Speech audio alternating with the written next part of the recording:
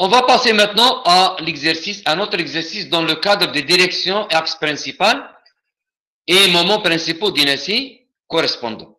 Et on va prendre un cas un peu compliqué maintenant, puisqu'il s'agit d'un corps, un profilé en Z, c'est un corps en Z comme ça, d'accord? C'est pas un corps simple comme l'exercice 11 où on a vu un carré, c'est un corps simple. Mais là, on a un corps un peu compliqué. Donc, il nous demande comme question 1 de déterminer les moments x1, y1 et x1, y1 de ce profil, bien sûr, pour un angle θ égale 60. Dans ce cas, il me donne un angle quelconque. Je ne sais pas est-ce que c'est l'angle principal ou non. Je vais vérifier. Bien. Donc, voilà l'axe X1, voilà la rotation d'axe autour du point central. D'accord?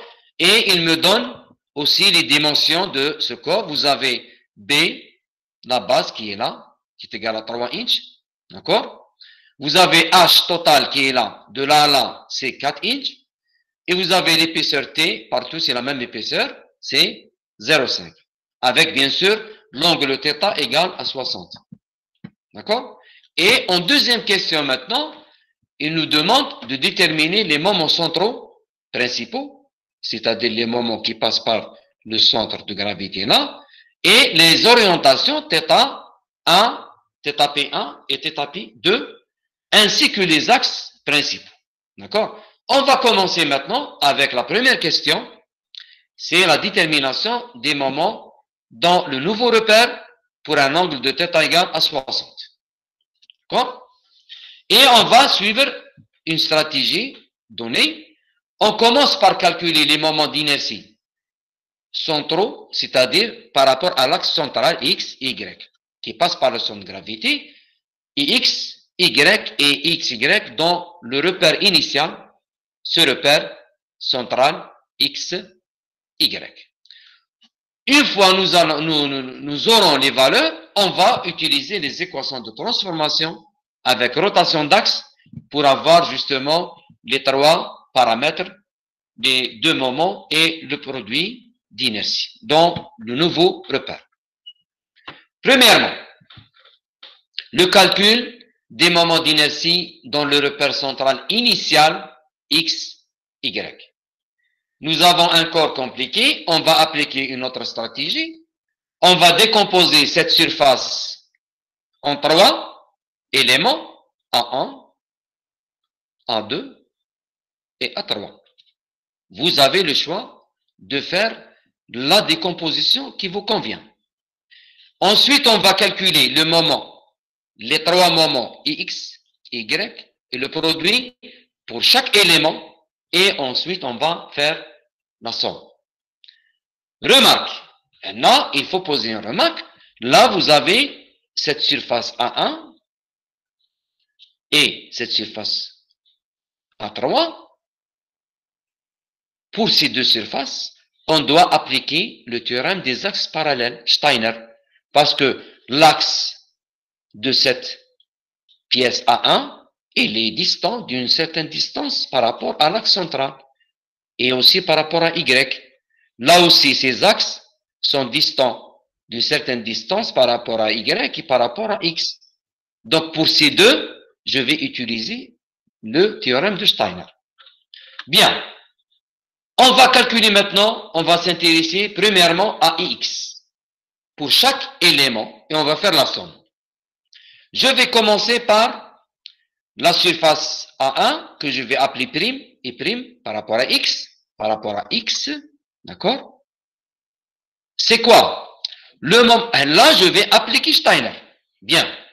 Donc, le moment de cette surface A1 par rapport à cet axe, c'est le moment de cette surface A1 par rapport à un axe qui passe par son centre de gravité, c'est-à-dire cet axe, plus la surface A1 D'accord Fois cette distance entre cet axe et cet axe X. Je vais voir. Donc, c'est quoi? C'est un douzième de B moins T. Donc, c'est cette distance qui est B moins T, l'épaisseur. Donc, c'est cette distance, B moins T, fois cette hauteur qui était puissance 3. C'est, on l'a déjà vu dans les exemples précédents. Maintenant, la deuxième partie de l'équation de Steiner, c'est la surface de A1. C'est quoi? C'est cette distance, donc c'est B moins T, voilà, fois T, voilà. Fois la distance au carré entre les deux axes. Quelle est la distance entre les deux axes? Cet axe et cet axe, c'est H sur 2, voilà, H sur 2, moins cette petite distance, donc c'est T sur 2. Donc H sur 2 moins T sur 2, bien sûr la distance au carré. Très bien. Maintenant pour A2, A2 qui est là, son moment par rapport à l'axe qui passe par son centre de gravité, c'est 1 demi de TH cube, c'est clair et net. Et pour la surface maintenant A3, on va trouver que c'est la même que la surface A1 pour le moment d'inertie. C'est-à-dire, si vous allez appliquer la même chose, vous allez trouver que qu'elles ont les mêmes valeurs. Donc, c'est pas la peine de refaire le calcul. Donc, le moment total, moment d'inertie par rapport à x de la surface totale, c'est la somme des trois. Donc, c'est la somme des trois. Et on trouve, après application numérique, en utilisant les valeurs déjà vues, 10, 37 inch puissance 4. Je vais faire la même chose maintenant pour IY. D'accord? N'oubliez pas que je suis en train de calculer le moment d'inertie par rapport à l'axe Y, qui est l'ancien repère de toute la surface. Donc, je vais commencer par la surface A1. Donc, cette surface, je vais calculer le moment par rapport à cet axe. Donc, je vais appliquer Steiner entre cet axe et cet axe. Donc, le moment de cette surface par rapport à cet axe, si le moment de cette même surface A1 par rapport à cet axe qui passe par son centre de gravité, plus la surface A1 fois la distance entre les deux axes. Donc, c'est cette distance entre les deux axes. Je vais voir. Donc, c'est un douzième de t fois b moins t puissance 3, c'est déjà vu dans la partie précédente, plus la surface, donc c'est b moins t fois t, fois la distance qui est là entre les deux axes, et cette distance, c'est b sur 2. D'accord? B sur 2. D'accord? Au carré. Surface A2 maintenant, de la même manière, c'est, elle passe, le l'axe Y passe par son centre de gravité, c'est un douzième de HT puissance 3. Dans la dernière partie, nous avons vu la même chose, TH3, maintenant c'est HT3 parce que c'est par rapport à l'axe Y. Bien. Pour la surface A3 maintenant, c'est la même chose, c'est le même moment d'inertie que cette surface. Donc, on trouve la même chose. Donc, le moment d'inertie par rapport à Y de la troisième surface, c'est tierce, troisième surface, à 3, égale le même moment de la première surface, donc prime. Et le Y, c'est la somme des trois, et on trouve 6,96 inch puissance 4. Première partie. Et je termine la première partie, c'est le calcul de produit d'inertie dans le repère central initial. De la même manière, le produit d'inertie, c'est quoi? C'est le produit de cette surface par rapport à ces deux axes. Et puisque ces deux axes sont des axes de symétrie par rapport à ce corps A1, donc égal à 0. Là, je suis en train d'appliquer Steiner aussi. Hein. Et Steiner, dans le cas d'un produit d'inertie, c'est quoi? Le produit d'inertie par rapport à un axe, c'est le produit d'inertie par rapport à l'axe central, plus A fois D1, D2. Donc, je vais voir. La distance qui est là, c'est quoi? C'est la distance entre cet axe et cet axe. D'accord? C'est quoi? Elle est de ce côté. D'accord? C'est moins B sur 2. Donc, il faut, faut bien, il faut pas faire des erreurs dans le cas d'un produit d'inertie, il faut voir les signes, le cadran. D'accord? Et là, la distance entre cet axe et cet axe, d'accord, c'est quoi? Suivant Y, c'est H sur 2, c'est tout ça moins T sur 2. Elle est dans le cadran positif. C'est pour ça qu'on a pris le, le positif de cette valeur. Mais là, suivant X, elle est dans le cadran négatif, donc c'est moins cette distance entre les deux axes. Donc c'est quoi cette distance? C'est moins B sur 2. Le produit maintenant, le produit d'inertie de ce corps par rapport à l'axe Y, X, qui sont des axes centraux, des axes, pardon, symétriques, donc égal à 0.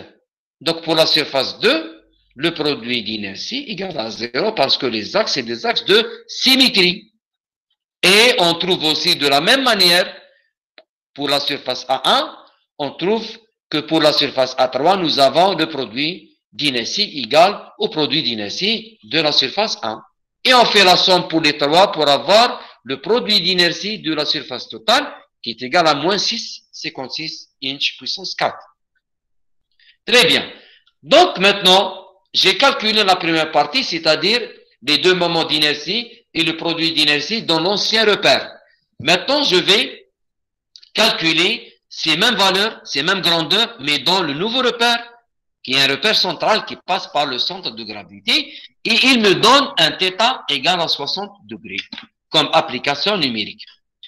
Bien, je vais utiliser carrément, connaissant les moments dans l'ancien repère, je vais utiliser les équations de transformation.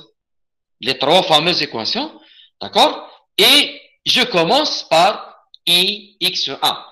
Je vais appliquer cette loi avec θ égale à 60, j'obtiens 13 secondes.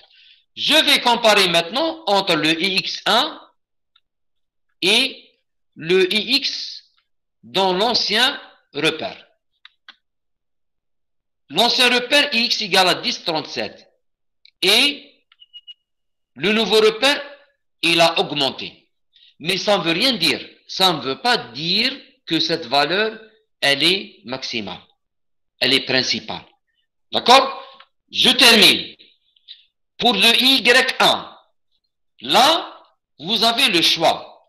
Soit vous appliquez directement l'équation y1 qui est là avec θ égale 60, vous, vous trouverez 3,84, ou bien vous appliquez l'équation de x1, mais avec un angle de 60 plus le 90. Pourquoi Parce que dans le schéma, si vous appliquez par rapport à x1, vous avez utilisé θ.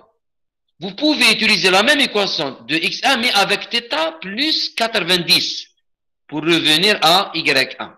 Donc, vous avez le choix et vous aurez les mêmes valeurs. D'accord? Donc, il est plus facile d'utiliser la même équation. D'accord? Et avec θ égale 60 plus 90, qui est égal à 150 maintenant, vous remplacez ici 150 et vous trouverez cette valeur qui devient y1, elle est égale à 3,84. La même chose maintenant pour le produit. D'accord? Je vais utiliser l'équation de produit, la troisième équation de transformation, avec θ égale 60, et je vais trouver une valeur de 4,76. Bien, je vais maintenant remarquer entre les deux, les deux cas, l'ancien repère et le nouveau repère. Dans l'ancien repère, j'ai trouvé ix égale à 10. Voilà x égale à 10. ix égale à 10, 37. Et dans le nouveau repère, j'ai trouvé x1 égale à 13. Donc, il a augmenté. Mais ça ne veut pas dire que cette valeur, elle est principale. Quel est en plus le produit d'inertie? Il n'est pas nul. D'accord? Donc, c'est le produit d'inertie qui vous permet de vérifier, de contrôler est-ce que cet axe est principal ou non. Tant que ce produit d'inertie il n'est pas nul, donc l'angle 60, c'est pas la valeur principale et les Ix, Y1 ne sont pas des valeurs principales. Comment maintenant je vais calculer les valeurs principales, c'est-à-dire maximales, minimales? Et les angles correspondants, les directions, ce qu'on appelle les directions correspondantes. Là, je vais passer directement à la deuxième question. D'accord? Bien. Pour déterminer, euh, la question 2, c'est déterminer les moments centraux principaux et les orientations, ainsi que les axes principaux. Quelle est notre stratégie pour déterminer les moments et les directions principales? On commence toujours par déterminer les angles directement. On commence toujours par déterminer les angles θ principal 1 et θ principal 2. Ensuite, on remplace dans les équations de transformation, c'est clair. Donc, la première partie, c'est de déterminer les orientations des angles. Et l'équation qui vous permet d'obtenir ces angles, c'est cette équation. Donc, si vous voulez chercher les directions principales, les moments principaux d'inertie, commencez toujours par appliquer cette relation. Tangente de 2 θ égale à moins 2xy, 2, le produit d'inertie dans l'ancien repère, et xy dans l'ancien repère, et vous les avez ici, on est déjà, on est déjà calculé, voilà. Vous les injectez ici, et vous tirez la valeur θp, vous aurez deux valeurs de θ, une valeur θp1 égale 37,7, et une valeur θp2 égale 127. Je vais les injecter, je vais injecter cette valeur principale dans l'équation de transformation pour calculer justement les moments d'inertie principaux, c'est-à-dire la détermination des moments principaux d'inertie. Comment je vais la faire? Je vais prendre les orientations principales, les angles, voilà, θ principal 1, 37,7. Je l'injecte ici, d'accord? Et j'obtiens le IX1 qui est égal à 15,45. C'est, il est supérieur à 10, il est supérieur même à 13. Donc, c'est ça la valeur maximale. D'accord? Mais est-ce que c'est, euh, je suis sûr, on est sûr que cette valeur, elle est maximale. Je dois vérifier le Y. D'accord. Le Y, je vais appliquer la même équation, mais cette fois-ci avec un angle de θP1 plus pi sur 2. C'est-à-dire, c'est le deuxième angle qui est là. 127, il est là. Je vais l'injecter dans cette équation et je vais obtenir le Y1 égal à 1,89. Là, vous pouvez appliquer cette équation ou avec un angle de 127 ou vous pouvez même appliquer cette équation directe avec le premier angle 37,7 et vous aurez les mêmes valeurs. Là, une fois j'ai les valeurs, on est sûr que cette valeur, c'est la valeur max et cette valeur, c'est la valeur mine. Et aussi, on est sûr d'une chose, que c'est l'axe X1 qui est le moment autour de l'axe X1 qui est maximum. Et le moment autour de Y1 qui est minimum. D'accord? Donc le maximum, il est autour de X1. Donc, automatiquement, dans l'écriture conventionnelle qu'on utilise dans les livres, je vais prendre le maximum et je vais l'appeler I1. Donc, c'est juste des indices. I1, c'est toujours la valeur maximale. Et I2, c'est la valeur minimale. Donc, pour moi, on est sûr, pour nous, on est sûr que cette valeur θP1, c'est la valeur principale. Et cette valeur, le moment, c'est la valeur maximale et x1, c'est l'axe autour duquel la valeur, le moment, il est maximal. C'est-à-dire, dans votre poutre, dans votre poutre en Z, qui est là, vous avez cet axe, d'accord? D'accord Qui est le moment autour de cet axe qui est maximal, d'accord? Et vous aurez automatiquement la charge, votre charge, elle est comme ça. Donc vous devez, d'accord, cet angle, c'est l'angle principal, l'axe X1, le moment autour de X1, c'est la valeur maximale. Donc, la poutre, cette poutre, pour qu'elle résiste, elle doit être chargée dans ce sens, perpendiculairement à l'axe X, X1. ဟုတ်နော်